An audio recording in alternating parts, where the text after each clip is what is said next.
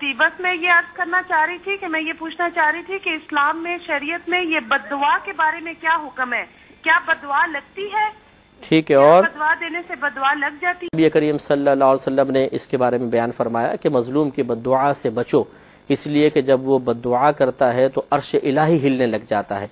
इसका मतलब है बददुआ का असर तो होता है तो इसलिए लाजिम बददुआ का असर होगा लेकिन उसका असर अल्लाह तबारक व की मर्ज़ी के ताबे ही है तकदीर के ताबे ही है। अल्लाह तबारक व ताली ने अगर किसी दुआ का असर दूसरे तक मुंतकिल करने का फैसला फरमाया हुआ है, तब ये दुआ असरअंदाज होगी।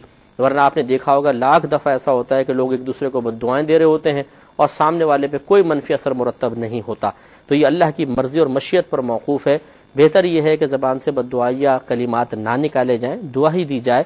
हाँ कभी अगर कोई दुआएँ ज़र दे भी देता है और किसी सही वजह से देता है तो वो देने का हक रखता है। दूसरे शख्स को बहरल डरना चाहिए। ये नहीं कि चलो जी, तुम्हें क्या मालूम कि तकदीर में ऐसा है कि नहीं है? अल्लाह की मर्ज़ी, मशीयत पर मौकूफ है, मैं तो नहीं डरता हूँ। ये गलत है। हो सकता है कि आपने उसको डिस्टर्ब किया, अल्लाह ताला ने उसको दुआएँ ज़रर करने दी और वो दुआ ज़रर वाकई अल्लाह की बारगाह में मकबूल होकर अल्लाह की मर्ज़ी के मुआफ़ होकर आपके लिए नुकसान का बायस बन जाए तो इसमें इंसान के लिए जिल्लत के पहलू भी हैं, नुकसान के पहलू हैं, इसलिए किसी को इस तरह